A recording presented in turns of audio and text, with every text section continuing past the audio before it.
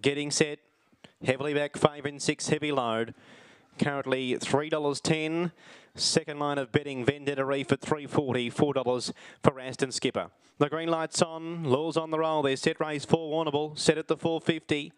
Racing two and away, fast out wide would have been Vendetta Reef showing good speed through in the centre. She, Devil through to take the front from Vendetta Reef to second. Third out wide, Aston Skipper fourth. The inside would have been Graceland Boy.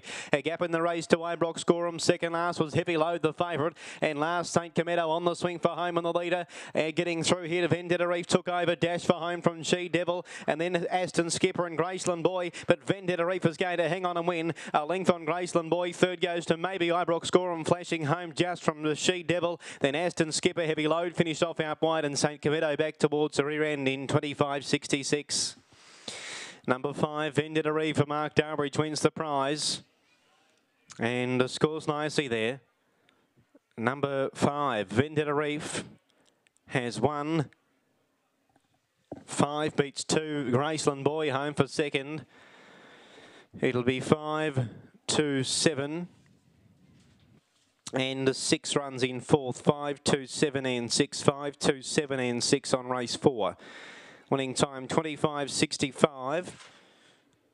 25.